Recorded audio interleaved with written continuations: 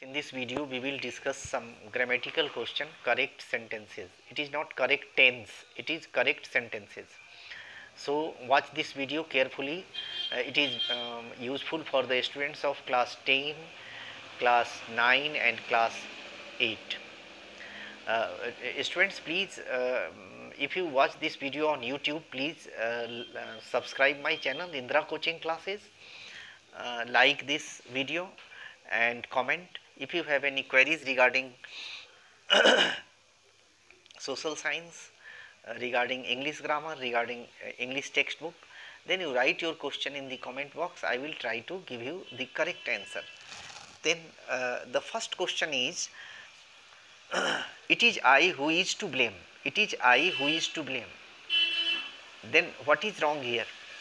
It is i who am to blame the answer will be it is i who am in place of is uh, we should uh, write am. ये नियम क्या है? Who किसको represent कर रहा है? आई को represent कर रहा है। इसीलिए आई के अकॉर्डिंग टू एम होगा वहाँ पर it is I who am to blame अगर आई की जगह ही होता तो ही इज़ होता. अगर आई की जगह दे होता तो दे आर होता. Means it is it is they who, it is i who, it is they who are to blame, who are to blame. Then आप देखिए एंटीसीडेंट एंड दी वर्ब माने who के पहले का जो टर्म होगा noun या प्रोनाउन होगा, उसी के अकॉर्डिंग टू बी वर्ब लगेगा। दूसरा question Kupiya resembles to Kufiya यानी कि कुपिया और कुफिया एक जैसे लगते हैं। My face resembles my father यहाँ पर जो गलती है कुपिया resembles to the keffiyeh to preposition नहीं लगेगा। Resembles कुपिया resembles the keffiyeh. ऐसा होगा।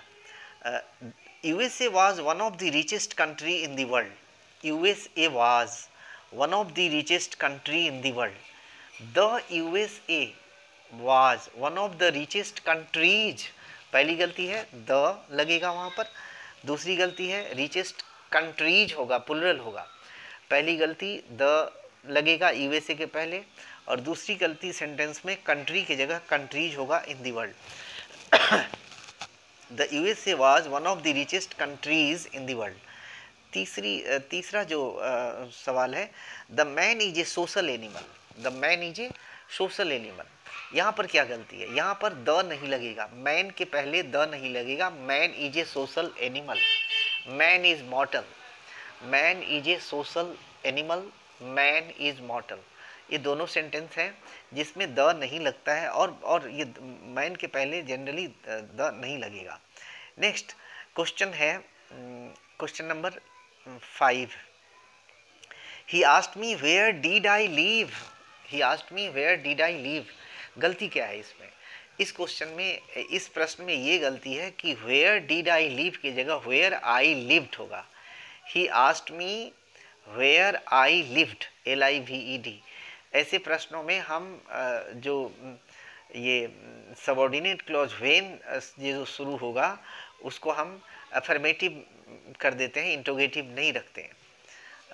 He asked me where I lived L I V E D दूसरा है shoes are made from leather shoes are made from leather. Shoes are made from leather from preposition is wrong shoes are made of leather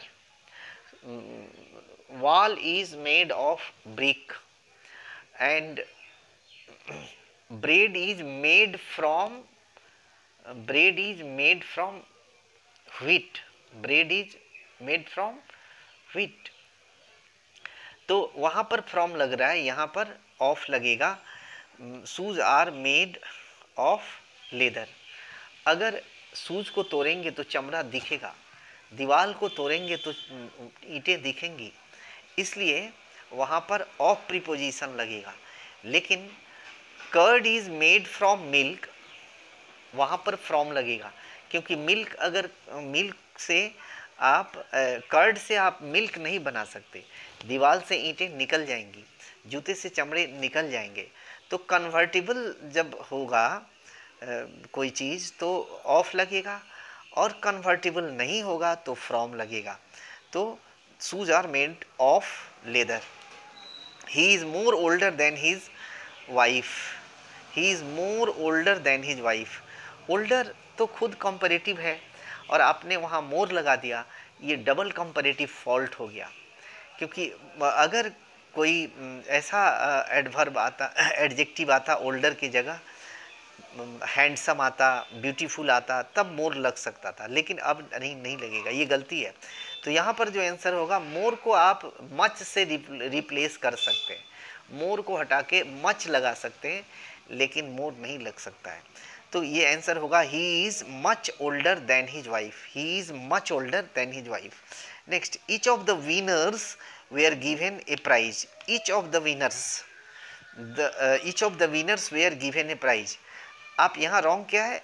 each distributive pronoun है, मैंने कल भी बताया था distributive pronoun है each either neither none each every either neither तो ये सब अगर सेंटेंस में है तो भर्ब ऑब्वियसली आपको बी भर्ब सिंगुलर लगेगा। तो each of the winners was given a prize each of the winners was given a prize next I am feeling unwell तो एक दिन और हमने यहाँ पर बताया था I am feeling all well unwell I feel unwell क्यों?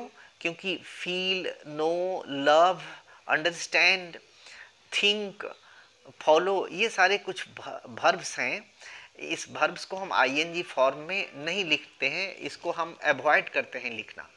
इस, ऐसे भर्ब्स को हम आईएनजी फॉर्म में लिखने से कतराते हैं, छोड़ते हैं, बचते हैं। क्यों बचते हैं, ये एक रीज़न है, लेकिन अभी मैं नहीं बोल पाऊँगा। Next is they left the hotel with bag and baggage यहाँ पर बैग एंड बैगेज सारे सामान के साथ उन लोगों ने होटल छोड़ दिया। लेकिन यहाँ पर जो गलती है they left the hotel bag and baggage ये आंसर होगा, सही आंसर होगा। विथ प्रीपोजिशन नहीं लगेगा। They left the hotel bag and baggage no with preposition कोई भी प्रीपोजिशन यहाँ लगना नहीं चाहिए।